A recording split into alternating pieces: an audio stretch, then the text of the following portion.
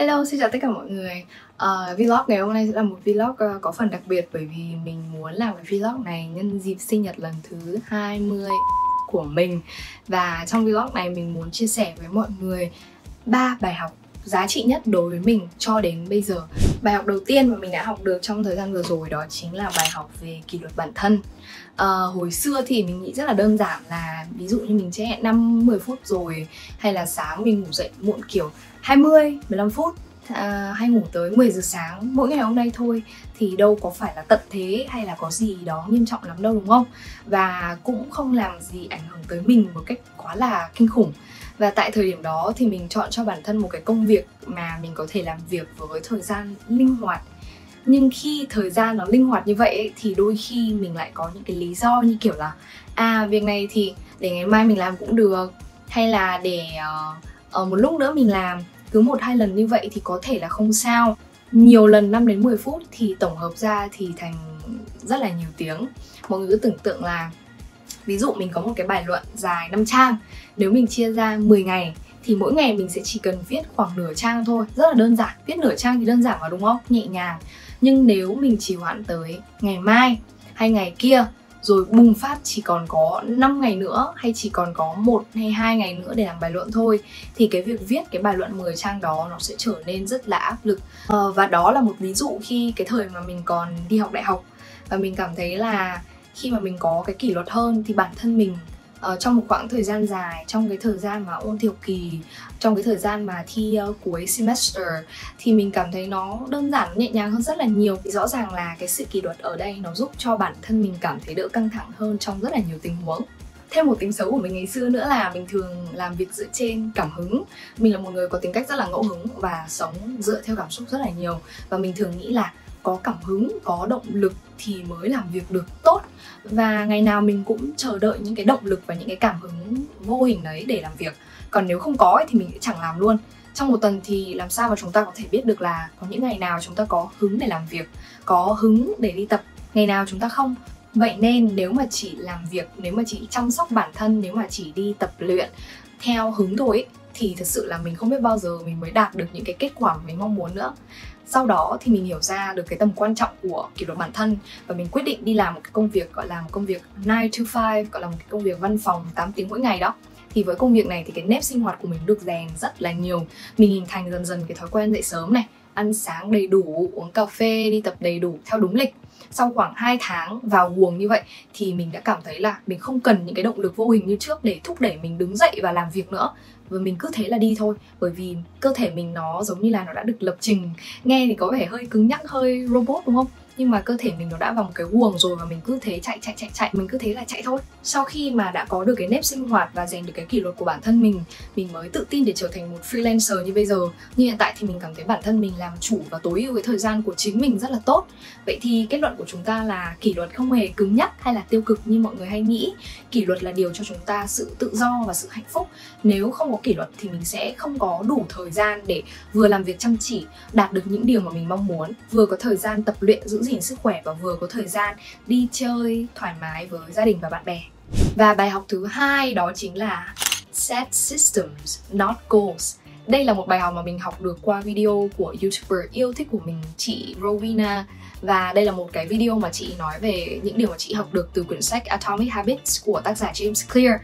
Và bây giờ mình sẽ giải thích đơn giản cho mọi người hiểu câu nói đó uh, set system not goals đơn giản là gì và vì sao mình lại cảm thấy đấy là một bài học quan trọng goals thì là một mục tiêu, một điều mà mình sẽ đạt được. Đó có thể là đạt được 8.0 IELTS này, hay là đỗ đại học này, hay là đỗ các ba trường kia, hay là làm được cái này, kiếm được một số tiền nhất định còn system là một hệ thống.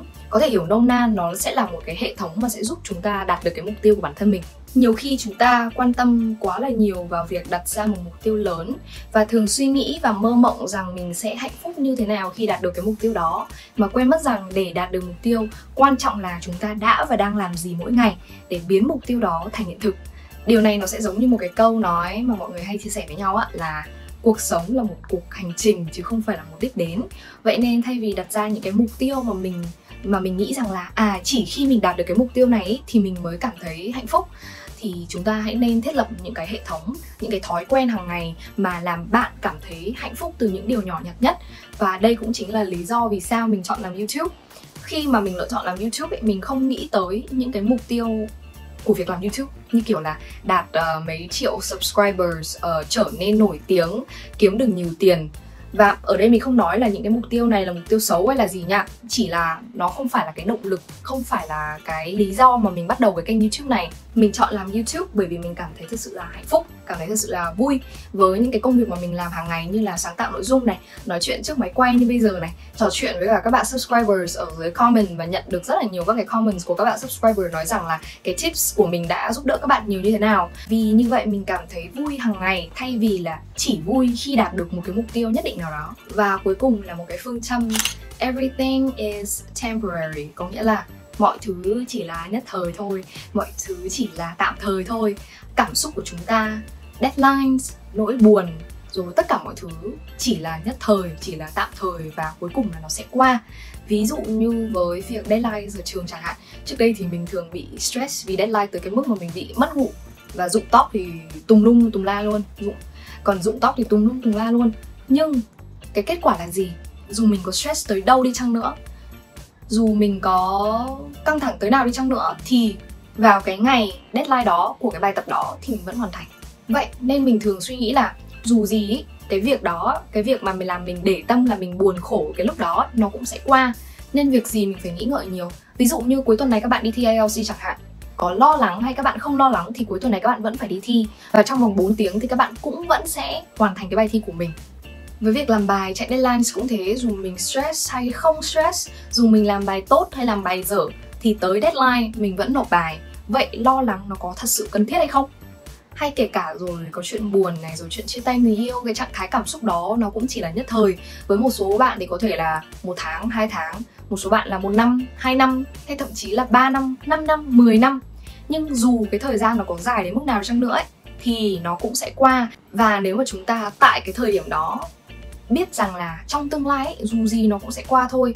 Thì đôi khi cái việc mà bạn buồn cái việc mà bạn stress cái việc mà bạn căng thẳng ấy có thể là nó sẽ qua nhanh hơn và bản thân mình cũng cảm thấy nhẹ lòng và bớt mệt mỏi hơn rất là nhiều. Bạn có thể buồn vì một điều đã xảy ra bạn có thể căng thẳng vì một điều sắp xảy ra và vì mọi thứ đều là nhất thời nên từng giây phút trôi qua mình đều cảm thấy rất là trân trọng. Mình thấy mọi người hay chia sẻ một cái câu nói rất là hay đó chính là The only moment in time that exists is now.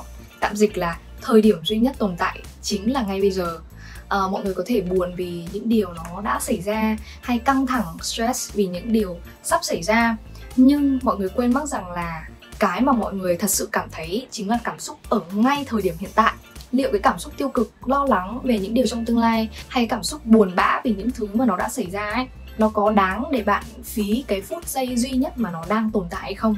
Đó chính là ba cái bài học mà mình cảm thấy là mình đã học được và nó rất là quan trọng đối với mình trong thời gian vừa rồi. Tuy nhiên là nói thì hay đúng không mọi người? Mình lên video mà, mình nói thì rất là dễ, rất là hay, rất là đơn giản thôi. Còn thật sự mình thực hành như thế nào ấy mới là cái điều quan trọng. Và mình nói thật với mọi người là không phải lúc nào mình cũng thực hiện được ba cái bài học đó, không phải lúc nào mình cũng áp dụng được ba cái bài học đó một cách rất là uh, hoàn hảo hay là một cách rất là toàn diện mình không làm được cái điều đó. Đôi khi thì mình vẫn bị cuốn vào những cái cảm xúc nhất thời đôi khi mình vẫn bị buồn bã bị stress vì những thứ ở trong tương lai đôi khi mình vẫn lười biếng không phải là ngày nào mình cũng follow cái system follow cái hệ thống mà mình đã đặt ra.